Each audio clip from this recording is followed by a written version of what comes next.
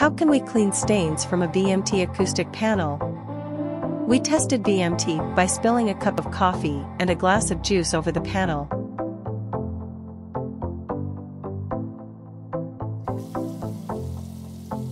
We washed the panel under the tap.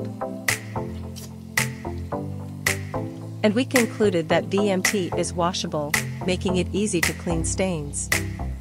Simply by using water and a towel,